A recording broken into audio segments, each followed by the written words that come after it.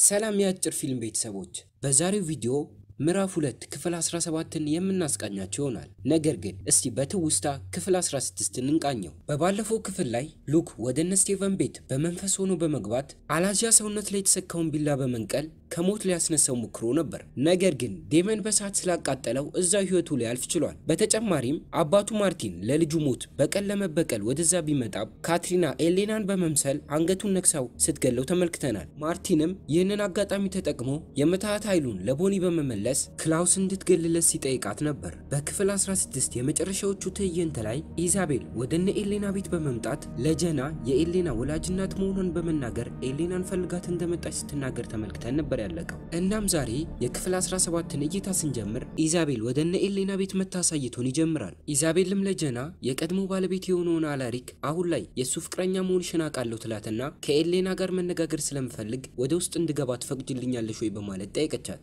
ኤሌናም ይህንን ሲነጋገሩ አብራቸው ስለነበረችና ኢዛቤል ቫምፒር መሆኗን ስለምታውቅ ለጀና እንድትገባ እንዳትፈቅጅላት በማለት በሩን ላዩ ላይ ትዘጋባታለች። ጀናም ትላንትና አላሪክ ኢዛቤል ሞታለች፣ ነገር ግን አሟሟቷ ልነግርሽ አልችልም በማለት ተሰናብቷት ትቷት ሄዶ ነበር። እናም አሁን ላይ ጀና እያለቀሰች ለኤሌና አንቺ በህይወት መኖሯን ታውቂ ነበር ወይ በማለት ጠየቀቻት። ኤሌና ምላሽ ልሰጣት ስላልቻለች ከአንቺ ውጪ ጆንና አላሪክም ይህንን ያውቃሉ ወይ በማለት ጠየቀቻት። ኤሌናም ሁሉንም ነገር አብራራልሻለሁ በማለት እንድትረጋጋ መጠየቋን ቀጠለች። ጀና ግን ምንም ሳትላት ወደ ክፍሏ እየሮጠች ትገባና በሩን ላዩ ላይ ዘግታ መሬት ላይ በመቀመጥ እያለቀሰች ነበር። ስቲቭንና ዴመን ደግሞ ኤሌና ደውላ ኢዛቤል ወደ ሚስቲክ ፎል መመለሷን ከነገረቻቸው በኋላ ወደ እሷ ጋር ሊመጡ ጉዟቸውን ጀመሩ። ካትሪና ቤት ውስጥ ስለነበረች ታስቆማቸውና እኔ እናንተ ቤት ውስጥ እንዳለሁ ለኢዛቤልም ሆነ ለጆን መናገር የለባችሁም ትላቸዋለች። ኤሌና ደግሞ አላሪክን ወደ ቤቷ በመጥራት ጀና ክፍሏ ውስጥ እንደሆነችና ማንንም ለማናገር ፈቃደኛ እንዳልሆነች እየነገረችው ነበር። ወዲያውኑም ጀና ለጊዜው የሚሆናትን ልብሶች በሻንጣ በመያዝ ወደ እነሱ ጋር ትመጣና ለጊዜው እዚህ ቤት መቆየት አልፈልግም በማለት ትታቸው ትወጣለች። እሷ በወጣችበት ቅጽበትም ጆን ወደ እነሱ ጋር ይመጣና ጀና በመውጣቷ አላሪክን የሚያናድዱ ነገሮችን መናገር ጀመረ። አላሪክም በቁጣ ስሜት ውስጥ ሆኖ በአንድ ምት ነስር በነስር ያደረገውና ትቶት ከቤቱ ይወጣል። ኤሌናም ጆን በመመታቱ ምንም ሳታዝን እየሳቀችበት ለጥፋትህ ዋጋህን ነው ያገኘኸው ብላው ወደ ክፍሏ ትገባለች። በመቀጠልም ካርሎይን ለስቴቨን ደውላለት ማት እሷ ቫምፒር መሆኗን እንዳወቀና ልታስረዳው ብትሞክርም ከቤቱ ለቆ እንዳመለጣት ትነግረዋለች። ስቴቨንም በቻለችው ፍጥነት እሱን አግኝታው የማንንስ ኃይሏን ተጠቅማ ሁሉንም ነገር እንዲረሳ ማድረግ እንዳለባት ይነግራታል። ከዛም ወደ ኤሌና ጋር በመሄድ የተፈጠረውን ነገር ረጋ ብለው እየተነጋገሩ እያለ ጆን ወደ እነሱ ጋር ይመጣና አንድ ሰው ሊያናግራቸው ይፈልጋል በማለት ወደ ታች እንዲወርዱ ያደርጋቸዋል። ወደ ታችኛው ክፍልም ሲወርዱ ኢዛቤልን ያገኟታል። ኤሌናም በመናደድ ወደ ቤታችን እንድትገባ እንዴት ትፈቅድላታለህ በማለት ጆን ላይ ስትጮህበት ስለ ክላውስ የምታውቀው ነገር እንዳለና ይህንን ነገር ግዴታ መስማት አለባችሁ ይላታል። ኢዛቤልም ለኤሌና እስከ ዛሬ ድረስ ክላውስ ያለበትን የሚያውቅ አንድም ሰው እንደሌለና አሁን ላይ ወደዚህ ከተማ የተመለሰችው እሷ ልትጠብቃት እንደሆነ ትነግራታለች። ኤሌና ግን አንቺ ለእኔ ምንም አይነት ነገር እንድታደርግልኝ አልፈልግም በማለት ከቤቷ እንድትወጣላት ብቻ ትጠይቃታለች። በሌላ በኩል ቦኒ ከዴመንና ከጀርሚ ጋር በመሆን ወደ እነ ሉክ ቤት ይሄዳሉ። ዴመንም ተቃጥሎ መሬት ላይ የቀረውን የሉክን ሰውነት ሊያስወግደው እየተዘጋጀ ለቦኒ ምንድን ነው የምትፈልጊው በማለት ይጠይቃታል። ቦኒም ማርቲን ኃይሏን ሲመልስላት አንድ መልእክት እንደነገራትና ይህም መልእክት በድሮ ጊዜ ተቃጥለው የተቀበሩትን ጠንቋዮች መቃብር ቦታ አሁን ላይ ካወቀችና ወደዛ ከሄደች የእነሱን ኃይል ሙሉ በሙሉ ወደ ራሷ ማድረግ እንደምችል ትነግረዋለች። ከዛም እቤት ውስጥ ከተደረደሩት መጽሐፎች መካከል እጇን ወደ እነሱ ጋር በመጠቆም የምትሃት ቃላቶችን ስትናገር አንደኛው መጽሐፍ ከሌሎቹ ተለይተው በመውጣት መሬት ላይ ይወድቃል። ኢዛቤል ደግሞ ወደ አንድ ቤት በመሄድ ካትሪናን ስታገኛት እንመለከታለን። ካትሪናም ሰሞኑ በጣም በስራ ተወጥረሻል በማለት ስትጠይቃት ኢዛቤል ልክ እንደሆነችና የአንቺን ህይወት ከክላውስ ለማዳን እየተደራደርኩ ነበር ትላታለች። ከዛም ወይን እየጠጡ ሶፋ ላይ ተቀምጠው ረጋ ብለው መነጋገር ይጀምራሉ። ኢዛቤልም ለካትሪና ጆን የእውነትም ኤሌናን የምጠብቃት መስሎት አምኖኝ ወደ ቤታቸው እንድገባ ፈቅዶልኛል ትላታለች። በተጨማሪም ከክላውስ ታማኝ ጠንቋዮች መካከል አንድ ሰው እንዳገኘችና ክላውስ moonstone ኡንና doppelganger ሯን ካመጣሽለት ነፃነትሽ እንደሚሰጥሽ ቃል ገብቷል ትላታለች። ካትሪና moonstone ኡን እኮ ማግኘት አልችልም በማለት ስትነግራት ኢዛቤል ልክ እንደ በፊቱ ዴመንና ስቴቨንን ተጫውተሽባቸው ማግኘት ትችላለች ትላታለች። ካትሪና ቦኒ ኃይሏ እንደተመለሰላት ስለማታውቅ ለኢዛቤል እነ ስቴቨን ያለቻቸው አንድ ጠንቋይ ኃይሏን እንዳጣችና ኤላይጃን ለመግደል እንኳን የተጠቀሙት ያንን ቢላ ነው በማለት ትነግራታለች። በመቀጠልም የካሜራው ትዕይንቶች ኤሌና ወደ እነ ስቴቨን ቤት በመምጣት ሶስቱም ቁጭ ብለው ሲነጋገሩ ያሳዩናል። ኤሌናም ኢዛቤል የምትናገረው ነገር ምንም እንዳልተዋጠላትና በኋላ ላይ አንድ ዝግጅት ስለተዘጋጀ ለደህንነቷ ሲባል ወደዛ ዝግጅት ከሁለት አንዳችሁ አብራችሁኝ መምጣት አለባችሁ ትላቸዋለች። ስቴቨንም ደስተኛ በመሆን ለመሆን እኔ እመጣለሁ ይላታል። ዴመንም ሳቅ እያለ እሱ ከእሷ ጋር መምጣት እንደማይችልና ከቦኒ ጋር የሚሰራው አንድ ስራ እንዳለ ይነግራታል። ወዲያውኑም ካትሪና ወደ እነሱ ጋር ትመጣና ምንድነው ከኔ የምትደብቁት? በግልጽ ንገሩኝ፣ አሁን እኮ ጓደኛሞች ነን በማለት ትጠይቃቸዋለች። ሶስቱም ግን ምንም አይነት መልስ ሊሰጧት አልቻሉ። ካትሪናም በድጋሚ moonstone ኡንስ የት ነው ያስቀመጣችሁት በማለት ስትጠይቀው ዴመን ምንም እንዳትጨነቅና ደህንነቱ የተጠበቀ ቦታ ነው ያስቀመጥኩት በማለት ያሾፍባታል። ካትሪናም በዴመን ንግግር ተናዳ ትታቸው ወደ ሌላ ክፍል ትሄዳለች። በመቀጠልም ስቴቨንና ኤሌና ወደዛ ቦታ ሄደው ያሳዩናል። ካርሎይንም ወደ እነሱ ጋር ትመጣና ማትን እስካሁን እንዳላገኘችውና ለአንድ ሰው እንኳን ተሳስቶ ከተናገረ የሁላችንም ህይወት ያልቅልናል ትለዋለች። ዴመንም ለቦኒ ጠንቋዮቹ የተቃጠሉበትን ቦታ አውቀዋለሁ ይላትና ከጀርሚ ጋር በመሆኑ ወደዛ ቦታ መጓዝ ይጀምራሉ። በመንገዳቸውም ላይ ቦኒ እንዴት ይህንን ቦታ ልታውቀው ቻልክ በማለት ስትጠይቀው ድሮ ላይ ካትሪና ወደ መቃብር ዋሻው ተዘግቶባታል ብሎ ያሰበ ጊዜ ብቸኛ እሷን ለማውጣት የምትረዳው ኤሚሊ እንደነበረችና እሷን ለማግኘት ሲያጣራ እንደ ድንገት ይህንን ቦታ እንዳወቀው ይነግራታል። ከዛም በዛፍ ወደ ተከበበና የድሮ ቤት ወዳለበት አንድ ቦታ ይደርሳሉ። ወደ ውስጥ ከገቡም በኋላ ዴመን ወደ መስታወቱ ጋር ሲጠጋ ባለበት ቦታ ደርቆ ይቀርና መንቀሳቀስ ያቅተዋል። ከዛም ለቦኒ የምታት ኃይልሽን ከኔ ላይ ምን አይነት ጨዋታን የምትጫወቹ በማለት ሲጠይቃት ቦኒ ይህንን ነገር እኔ ያላደረግኩትም በማለት ትነግረዋለች። ይህንንም እንዳለችው ከመስታወቱ የሚገባው ፀሐይ ሰውነቱን መንካት ይጀምርና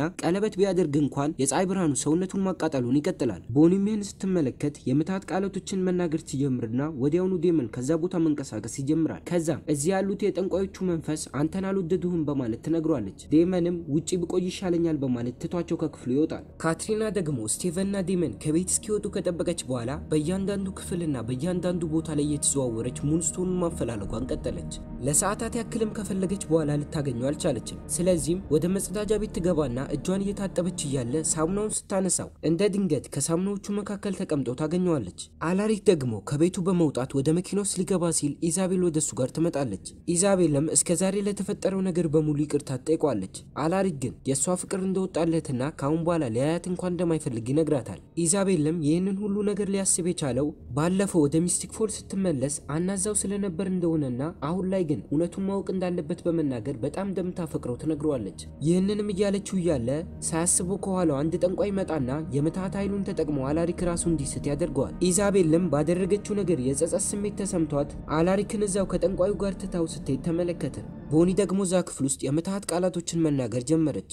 ወዲያውኑም አንዳንድ ጫጫታዎች መሰማት ይጀምራሉ። ጀርሚም የምሰማው ነገር ምንድን ነው በማለት ሲጠይቃት እዚህ ቤት ውስጥ የተቃጠሉት ጠንቋዮች ድምፅ ነው ትለዋለች። ከዛም እዛው ቤት ውስጥ ወደሚገኘው አንደኛ ክፍል ውስጥ ስገባ ቤት ውስጥ ያለው ሻማ በሙሉ በራሱ ጊዜ ይበራል። ቦኒም ለጀርሚ አሁን ሁሉም ዝግጁ ሆነዋል በማለት ትነግረዋለች። ኤሌና ደግሞ ከስቴቨን ጋር በመሆን ወደዛ ቦታ ከሄደች በኋላ ለተሰበሰቡት ሰዎች አሳዳጊ እናቷን ወክላ ንግግር እያደረገች ነበር። በተመሳሳይ መልኩ ጆንም ላይኛው ፎቅ ላይ ቆሞ ነበር። ኢዛቤልም ወደ እሱ ጋር ትመጣና አንድ ረብሻ ልፈጥር ነው በማለት ፊቱ ወደ ቫምፒርነት ተቀይሮ አንገቱን ስትነክሰው ተመለከተ። ወዲያውኑም በደረጃው በኩል የጆናታን ሰውነት እየተንከባለለ ይመጣና እነ ኤሌና ወዳሉበት ቦታ አካባቢ ይወድቃል። ስቴቨንን ጨምሮ ኤሌና ንግግር ስታደርግ እያዳመጧት የነበሩ ሰዎች በሙሉ ይህንን ይመለከቱና ተሰብስበው ወደ ሰውነቱ ጋር ይጠጋሉ። በዚህ ጊዜ ኤሌና ሰዎቹን ተከትላ ወደ እነሱ ጋር ልትሄድ ስትል ካትሪና ከፊት ለፊቷ በመምጣት ታስቆማትና ይዛት ከአካባቢው ተሰውራ ስትጠፋ ተመለከተን። ከደቂቆችም በኋላ ስቴቨን የጆንን ሰውነት ከተመለከተው በኋላ ወደ ኤሌና ጋር ተመልሶ ይመጣል። በዚህ ጊዜ ካትሪና የኤሌና ልብስ አውልቃ ራሷ በመልበስና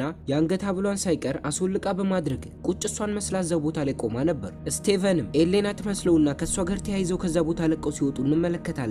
ወደ መኪናው ጋር እየተጓዙ እያለ ስቴቨን አኳኋኗን ተመልክቶ ካትሪና መሆኗን ያውቅባትና ከመኪናው ጋር አጋጭቷት ኤሌና የት ነው ያለችው በማለት ይጠይቃታል። ካትሪናም ሳያስበው ከኪሷ ውስጥ ቨርቬኑን ታወጣና ሆዱን ወቅታው እንድትከተለኝ አልፈቅድልህም ትለዋለች። ስቴቨንም ቨርቬን ስለተወጋ እዛው ራሱን ስቶ ይወድቃል። ወደነ ቦኒ ጋር ስንመለስ እዛ ክፍል ውስጥ ጫጫታው እየበረታ ይመጣል። ቦኒም ድምጿን ከፍ በማድረግ እየጮኸች ነበር። ጀርሚም የተጎዳች መስለውና ምን ተፈጠረ በማለት ወደ እሷ ጋር ሲጠጋ ማንም ሳይነካው ከቦኒ አጠገብ ተገፍትሮ መሬት ላይ ይወድቃል። ለደቂቆች ያክልም ቦኒ እየጮኸች ካሳለፈች በኋላ እቤት ውስጥ ያለው ሻማ ይጠፋና ሁሉም ነገር ይረጋጋል። ጀርሚም ከመሬት ላይ ተነስቶ ቦኒን ምን ተፈጠረ በማለት ሲጠይቃት ሁሉንም ነገር ተወጥቼዋለሁ በማለት መለሰችለት። ዴመን ደግሞ እነ ቦኒን ውጭ ላይ ቁጭ ብሎ ለሰዓታት ያክል ከጠበቃቸው በኋላ ይሰለቸውና ወደ ቤቱ ጉዞውን ጀመረ። ወዲያውኑም የካርሎይን እናት ደውላለት ዝግጅቱ ቦታ ላይ የቫምፒር ጥቃት እንደተከሰተ ትነግረዋለች። ዴመንም ወደ ቦታው ሲመጣ የካርሎይን እናት ጆን ሞቷል በማለት ትነግረዋለች። እሱ ግን ሰውነቱን ይመለከትና ጣቱ ላይ ከአላሪክ የተቀበለውን ከሞት የሚያስነሳውን ቀለበት ስላደረገ አሁንም በህይወት አለ በማለት ይነግራቸዋል። የካርሎይን እናትም ሆነች የታይለር እናት ሁለቱም ግራ በመጋባት እንዴት ይህንን ልትል ቻልክ በማለት ጠየቁት። ዴመንም ጆን ያደረገው ቀለበት ጥንታዊ ቀለበት እንደሆነና ይህንን ቀለበት አድርጎ አንድ ሰው አደጋ ቢደርስበት እንኳን ከሞት መነሳት እንደሚችል ይነግራቸዋል። ከዛም ሁሉንም ነገርን ያስተካክለዋለሁ በማለት የጆንን ሰውነት በመሸከም ወደ ቤቱ ጉዞውን ጀመረ። የካርሎይን እናትም ወደ ውጭ ስትወጣ ማት በሩ ላይ ቁጭ ብሎ እየጠባበቃት ነበር። ከዛም የእህቱን ሞት የሚያሳየውን ሰነድ መመልከት እንደሚፈልግና እህቱ በቫምፒር እንደተገደለች እንዳወቀ ይነግራታል። ዴመን ደግሞ የጆንን ሰውነት በመሸከም ወደ ቤቱ ከደረሰ በኋላ ሰውነቱን መሬት ላይ እንዳስቀመጠው የጆን ደም ልብሱ ነክቶት ስለነበር ልብሱን ለመቀየር ወደ መጸዳጃ ቤት ይገባና በዛውም እጁን እየታጠበ ነበር። ወዲያውኑም ስቴቨን ይደውልለትና ካትሪና ኤሌና እንዳገተቻት ይነግረዋል። ዴመንም በድንጋጤ ስሜት ውስጥ ሆኖ ከሳሙናዎቹ መካከል ሙንስቶንን ሲፈልገው በቦታው አልነበረም። በሌላ በኩል ኢዛቤል ደግሞ የኤሌናን ሰውነት በመኪና ጭና ከሚስቲክ ፎል ለቃ ስትጓዝ ያሳየናል። ወዲያውኑም ካትሪና ትደውልላትና ዴመን ኤሌና እንደጠለፍሻት ካወቀ በደቂቃዎች ውስጥ ነው የሚያገኝሽ፣ በፍጥነት ከከተማ ውጭ በማለት ትነግራታለች። ኢዛቤል ግን ስለ ከዳውሽ ትላትና ከሙንስቶኑ በተጨማሪ አንቺንም ይፈልግሻል በማለት ስልኩን ጆሮዋ ላይ ትዘጋባታለች። ይህንንም ብላት ስልኩን እንደዘጋችው ካትሪና ሳታስበው ከኋላ ቅድም አላሪክን ራሱን አስቶ የወሰደው ጠንቋይ ቆሞ ነበር። ካትሪናም ራሷን ለመከላከል አስባ ወደ ቫምፒርነት ተቀይራ ልታጠቃው ሞከረች። ነገር ግን ገና አጠገቡ ሳትደርስ የምታት ኃይሉን ተጠቅሞ ከባድ ራስ ምታት እንዲይዛት ያደርግና እዛው ራሷን ስታ መሬት ላይ ትወድቃለች። ካርሎይን ደግሞ ቀኑን ሙሉ ማትን ካፈላለገችው በኋላ ልታገኘው ስላልቻለች ወደ ቤቷ ተመልሳ ትሄዳለች። እቤቷም ስትገባ ማት ቤት ውስጥ ቁጭ ብሎ ታገኘዋለች። ማተም እናትሽ ናት ወደዚህ ይዛኝ የመጣችው በማለት ይነግራታል። ከዛ ሁሉንም ነገር መቀበል እንደሚችል ነገር ግን ሊያምናት የሚችለው ስለ እህቱ ቪኪ ሞት እውነታውን ሙሉ በሙሉ ከነገረችው ብቻ እንደሆነ ይነግራታል። በሌላ በኩል ከዛ ቤት በመውጣት እየተጓዙ ነበር። ጀርሚም ከመቶ በላይ የሚሆኑ ጠንቋዮች ኃይል ስለተጨመረልሽ አሁን ያለሽን ኃይል አሳይን በማለት ጠየቃት። ቦኒም አይኗን ጨፍና በውስጧ የምትሃት ቃላቶችን ስትናገር መሬት ላይ የነበሩት ቅጠሎች በራሳቸው በመነሳት አየር ላይ እየተሽከረከሩ ቀኑ ወደ ምሽት በመቀየር ፀሐይ ጠልቃና ሙሉ በሙሉ ጨለማ ሆኖ ሰማዩ በመብረቅ ሲናወጥ አሳየችው። ከዛም ለጀርሚ ለጠየቀኝ ጥያቄ ከመጠን በላይ ኃይል አግኝቻለሁ በማለት መለሰችለት። ኢዛቤል ደግሞ ኤሌናን ወደ አንድ የመቃብር ቦታ ይዛት ከሄደች በኋላ የራሷን የመቃብር ሐውልት እያሳየቻት ለዓመታት ያክል የአንቺ አያቶች እኔ ሞትኩ መስሏቸው ወደዚህ አበባ ይዘው ይመጡ ነበር ትላታለች። ይህንንም እየነገረቻት እያለ ስልክ ይደወልላታል። የደወለላትም ካትሪና ና ላሪክን የምታት ኃይሉን ተጠቅሞ ራሳቸውን እንዲስቱ ያደረጋቸው ጠንቋይ ነበር። ጠንቋዩም አሁን ክላውስ ሙንስቶኑንና ካትሪናን ስላገኘ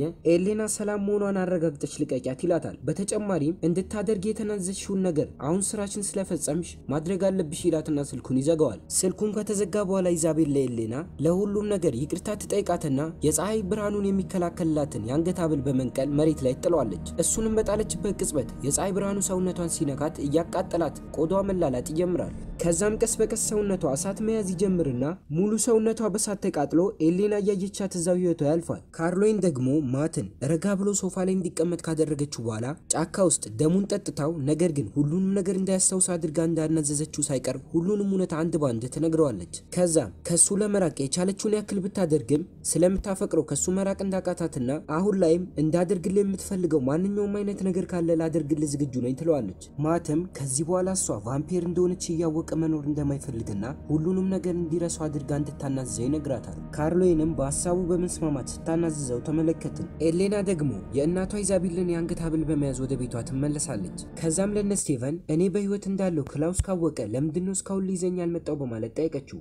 ስቴቨንም ከዚህ በኋላ መጠንቀቅ እንዳለባቸውና ይህንን ቤት በእሷ ስም አድርገው ማንኛውም አይነት ቫምፒር እሷ ፍቃድ ካልሰጠችው በስተቀር ወደ ውስጥ እንዳይገባ ሊያደርጉት እንዳሰቡ ይነግሯታል። ይህንንም እያወሩ እያለ ጆን ባደረገው ቀለበት አማካኝነት ከሞት ሲነሳ ተመለከተን። ዴመንም ኢዛቤልና እሱ አንድ ነገር አቅደው ነው ወደዚህ የመጡት ብሎ ስላሰበ ጆንን ያንቀውና ምን አስባችሁ ነው በማለት ይጠይቀዋል። ጆንም ምንም ነገር እንዳላሰበና ኢዛቤል እሱንም እንደካደችው ይነግረዋል። ወዲያውኑም ኤሌና ለዴመን ጆንን እንዲለቀውና እኔና እሱ የምናወራው ነገር አለ በማለት ስትናገር ተመለከትናት። ጀርሚ ደግሞ ከቦኒ ጋር በመሆን ወደ ቤት ይመለሱና ጀርሚ ለቦኒ ስለ እሷ በጣም እንደተጨነቀና ሙሉ በሙሉ አንድ ጊዜ ኃይሏን ከተጠቀመች ቀጥታ እንደሚገላት እንዳነበበ ይነግራታል። ቦኒም ስለ እኔ አትጨነቅ፣ ምንም የሚያስፈራ ነገር የለም በማለት ልታረጋጋው ሞከረች። ጀርሚ ግን original ቫምፒሮችን ለመግደል ምን ያክል ኃይል ነው የሚያስፈልግሽ በማለት ጠየቃት። እሷም ግዴታ ሙሉ በሙሉ ኃይልን መጠቀም አለብኝ ትለዋለች። ጀርሚም ለኤሌና ስትይ ይህንን እንድታደርግ አልፈቅድልሽም አላት። ቦኒ ግን እሷ ይህንን የምታደርገው ለኤሌና ብቻ እንዳልሆነና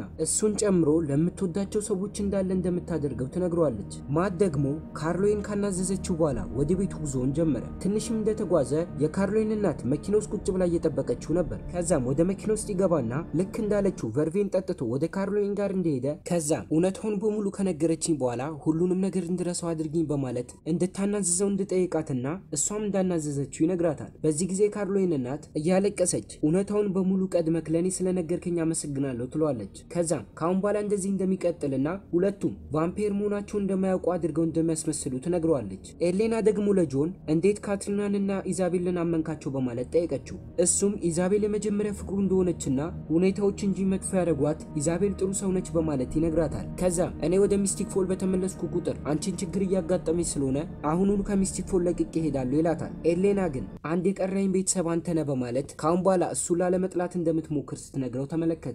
ጆንም ኤሌና ልትወደው እንደምትችል ተስፋ ስላገኘ ደስተኛ ሆነ። በክፍል 17 የመጨረሻዎቹ ትዕይንት ላይ ካትሪና አንድ ክፍል ውስጥ ከእንቅልፏ ስትነቃ አላሪክ ራሱን ስቶ በአንድ ወንበር ላይ ቁጭ ብሎና በብዙ ብልቃጥ ጠርሙሶች መካከል ደም ተደርጎ ወደ ሰውነቱ እየገባለት፣ ጠንቋዩ ደግሞ እጆቹን በአላሪክ ጭንቅላት ላይ አድርጎ የምትሃት ቃላቶችን ደጋግሞ እየተናገረ እንመለከታለን። ለደቂቃዎች ያክልም በዚህ መልኩ ከቀጠለ በኋላ አላሪክ ወደ ራሱ ይመለስና አይኑን ይገልጣል። ጠንቋዩም የአላሪክን መነሳት ሲመለከት ከወገቡ ሸብረክ በማለት ሰላምታን ያቀርብለታል። ካትሪናም አላሪክን ስትመለከተው በፍጥነት ከክፍሉ በመውጣት ለማምለጥ ሞከረች። ነገር ግን በሩ ክፍት ቢሆንም እንኳን ጠንቋዩ ቫምፒሮች ከዚህ ክፍል እንዳይወጡ ስላደረገ መውጣት አልቻለችም ነበር። ከዛም አላሪክ ወደ እሷ ጋር ይጠጋና በቡልጋሪያኖች የእንግሊዝኛ accent ካትሪና ፔትሮቫ በማለት ጠራት። ካትሪናም በፍርሃት ተውጣና ሰውነቷ እየተንቀጠቀጠ ክላውስ በማለት ጠራችው። ይሄ ማለትም ጠንቋዩ ክላውስን በአላሪክ ሰውነት ውስጥ እንዲነሳ አድርጎት ነው። እናም ክላውስ ለካትሪና በጣም ናፍቀሺኝ ነበር ሲላት ተመልክተን ክፍል 17 እዚህ ላይ አበቃ።